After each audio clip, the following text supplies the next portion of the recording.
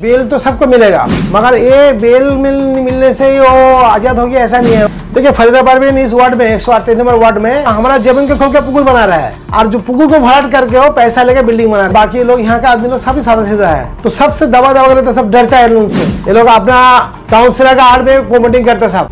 मटिया ब्रूज के सूफी काटगोला इलाके में एक ज़मीन को लेकर हुए विवाद को लेकर बीएम एकता इंडस्ट्रीज़ के ओनर दिलबर ठंडार ने वार्ड नंबर 138 की काउंसलर फरीदा परवीन के खिलाफ मानहानि का मामला किया था। और जिसके बाद 14 अप्रैल को काउंसलर फरीदा परवीन को अलीपुर कोर्ट में पेश होना था, लेकिन वे नहीं आई। और जिसके बाद उनके खिलाफ अरेस्ट वारंट जारी होने के बाद काउंसलर फरीदा परवीन अलीपुर के पुलिस कोर्ट में बेल लेने के लिए पेश हुई। और कोर्ट में लाइन लगाकर उन्होंने बेल हासिल की। आपको बता दें कि अलीपुर कोर्ट के सात नंबर जुडिशियल मजिस्ट्रेट में ये मामला चल रहा है। और इसका case number K C four two eight twenty four है। आपको बता दें कि बीएम एकता कंस्ट्रक्शन के एमडी दिलवर ठंडर ने उनकी ज़मीन को कथित रूप से काउंसलर फरीदा परवीन के ऊपर सारी ज़मीन को तालाब किए जाने के खिलाफ प्राइम मिनिस्टर ऑफ़िस में भी शिकायत दर्ज की थी। और वहीं दूसरी ओर काउंसलर फरीदा परवीन ने मीडिया में बयान दिया था कि बीएम एकता कंस्ट्रक्शन के दिलवा ठंडा ज़मीन माफिया है और अवैध काम करते हैं और उन्हें अरेस्ट किया जाना चाहिए। और फरीदा परवीन के इन आरोपों के खिलाफ बीएम एकता के एमडी दिलवर ठंडर ने उनके खिलाफ मानहानि का मामला किया था और जिसमें काउंसलर ने अलीपुर के सात नंबर जुडिशियल मजिस्ट्रेट में जाकर सरेंडर किया और बेल हासिल की है। लेकिन बीएम एकता कंस्ट्रक्शन के एमडी दिलवर ठंडर सिर्फ़ इतने से ही संतुष्ट नहीं है। वे इस मामले को अब कलकत्ता हाईकोर्ट में स्पीड ट्रायल के लिए अपील करने जा रहे हैं। बीएम एकता कंस्ट्रक्शन के एमडी दिलवर ठंडार ने क्या कुछ कहा? आइए देखते हैं। देखिए कल उनका अदालत में उनको कल बुलाया गया था तो वो तो हाईकोर्ट कोर्ट में मानते हैं तो ये छोटा मोटा अदालत उनके लिए तो कुछ भी नहीं है। अलीपुर कोर्ट। अलीपुर कोर्ट में तो वो गया नहीं। तो नहीं गया तो कल पुलिस उसको कोर्ट ने वारंट निकाल दिया उनका नाम में जो उसको अरेस्ट करके लाइए कोर्ट में। तो हम लोग जब मीडिया में बोला उनको कल जो अरेस्ट करने के उनको लेके आइए ऐसा सब बात है वारंट निकल गया। वो आज सुबह गया है जाके आके सरेंडर किया अपने आप को, जाके वहाँ से बेल लिया। बेल लिया, बेल लेकर चला आया, मगर वो बेल में है अभी। देखिए, मानहानि उनका नाम ने उनका नाम में काफ़ी मामला किया हुआ है। मानहानि तो एक मामला है।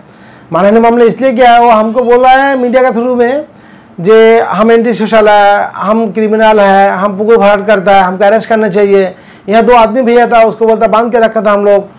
तो झूठ झूठ बात बोलते जा रहा है वो यहाँ और मार्केट में जो इमेज बिजनेसमैन का मेन होता है इमेज और जो लोग इन्वेस्ट किया हमारे ऊपर सब आदमी डरता है ये क्रिमिनल है। तो इस जो डर के सब आदमी हमारे पास दबाव कर रहे आप तो हम क्या करें उससे तो लड़ना नहीं सकता।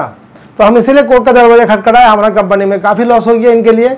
अरे कोर्ट में हम लोग विचार रखा है कोर्ट जो भी सुनाएगा हम लोग अदालत वही मानेंगे हम। नहीं देखिए बिल तो सबको मिलेगा।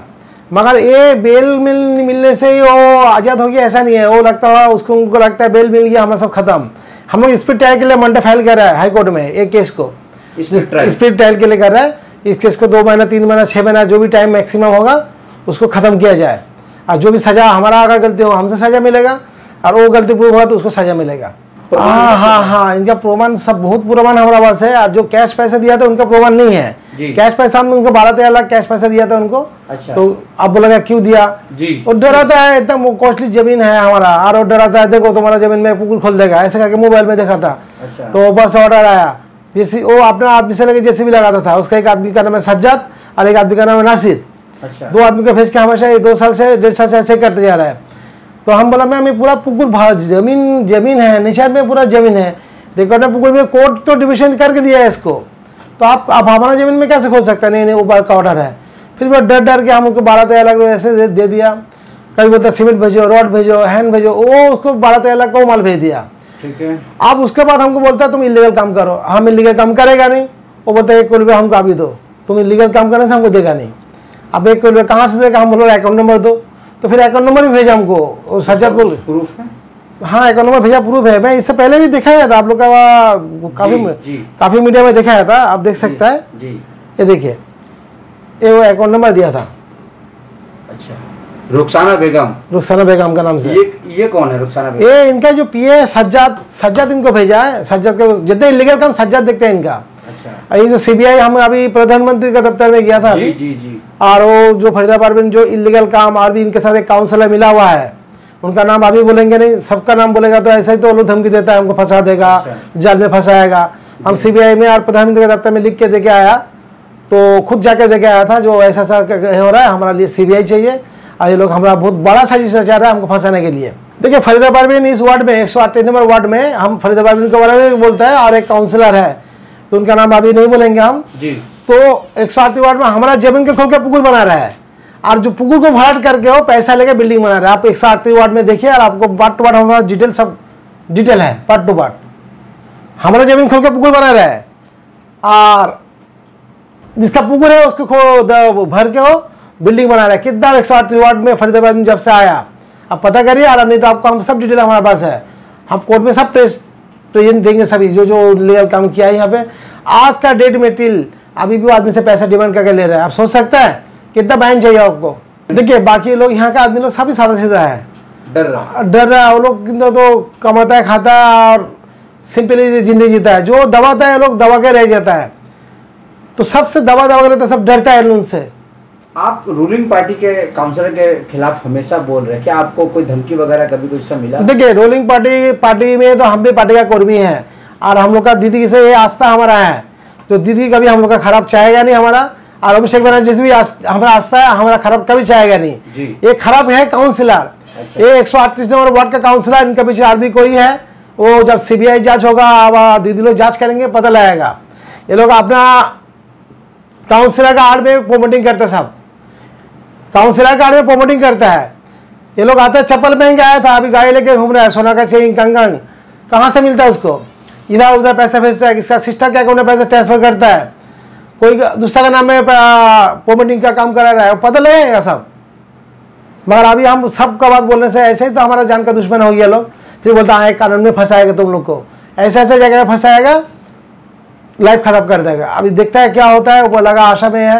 और अपना दीदी अभिषेक का आस्था में पूरा हम है, जो हमारे ऊपर कुछ खराबी आएगा नहीं। है देखिए ये मामला के लेके हम हाईकोर्ट में ट्रायल मंडे या ट्यूजडे फ़ाइल होगा। अच्छा, और इनके खिलाफ एक मामला नहीं है। अच्छा। कई सारा मामला हुआ सब ऑथेंटिक मामला हुआ है। अच्छा। एक भी झूठा मामला नहीं है। अच्छा।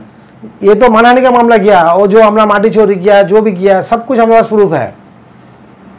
और वो खाली मेयर का नाम देता है मेयर हमारा साथ में है। मेयर हम अंदर से खबर लिया जान मेयर उनका साथ में है नहीं और झूठा झूठा मेयर को बदनाम कर रहा है। मेयर साहब सच का साथ। मेयर साहब रियली अच्छा इंसान है। और मेयर साहब का लड़की के साथ हम जिम भी जब जिम में जिम मेट भी था हमारा तो हम काफ़ी जान पहचान है तो मेयर साहब बहुत ही अच्छा इंसान है गुड इंसान है। मगर ये फरीदाबाद में मेयर मेयर साहब का नाम को भी यहाँ पे मिसयूज करने की कोशिश मेयर का मेयर साहब का नाम दो काउंसलर मिसयूज करता है। एक का नाम बोल बोलता फरीदाबाद में और एक का नाम नहीं बोलेंगे मगर मेयर साहब को वो लोग खराब कर रहा है। बदनाम करने बदनाम कर रहा है एक उद्योगपति है वो हर वक्त आदमी को चमकता है। मेयर हमारा साथ में है।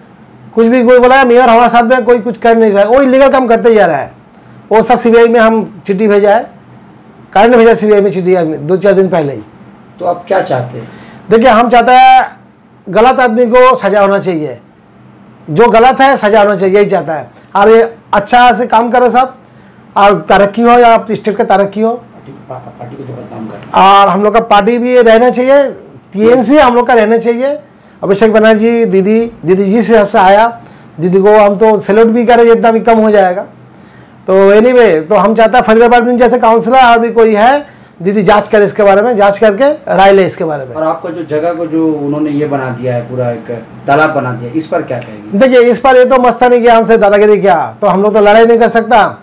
हम इसके लिए हाईकोर्ट में गया है। बोलिए। इसके लिए हम हाईकोर्ट में गया है और हाई कोर्ट में कोर्ट का दरवाज़ा खटखटाया और हम आशा करते हैं उम्मीद पूरा है। हमारा हाई कोर्ट से, हम दिल्ली में भी केस किया है इस बारे में। तो आशा करते हैं हमारे कोर्ट से न्याय पूरा मिलेगा और दीदी अभिषेक बनर्जी हम हमारा फुल सपोर्ट करेंगे। तो का रहना चाहिए? अभिषेक बनर्जी, दीदी दीदी जी से आया। दीदी को हम तो सैल्यूट भी करें, जितना भी कम हो जाएगा। तो एनीवे तो हम चाहते हैं फरीदाबाद में जैसे काउंसलर और भी कोई है दीदी जाँच कर इसके बारे में जाँच करके राय ले इसके बारे में। और आपका जो जगह को जो उन्होंने ये बना दिया है पूरा एक तालाब बना दिया इस पर क्या कहेंगे? देखिए इस पर ये तो मस्ता नहीं किया हमसे दादागिरी किया तो हम लोग तो लड़ाई नहीं कर सकता। हम इसके लिए हाईकोर्ट में गया है। बोलिए। इसके लिए हम हाईकोर्ट में गया है और हाईकोर्ट में कोर्ट का दर्जा खटखटाया और हम आशा करते हैं उम्मीद पूरा है तो हमारा हाईकोर्ट से हम दिल्ली में भी केस किया है इस बारे में तो आशा करते हैं हमारा कोर्ट से न्याय पूरा मिलेगा और दीदी अभिषेक बनर्जी हम हमारा फुल सपोर्ट करेंगे। इंसाफ इंसाफ पूरा मिलेंगे तो पूरा आशा करता है दीदी से।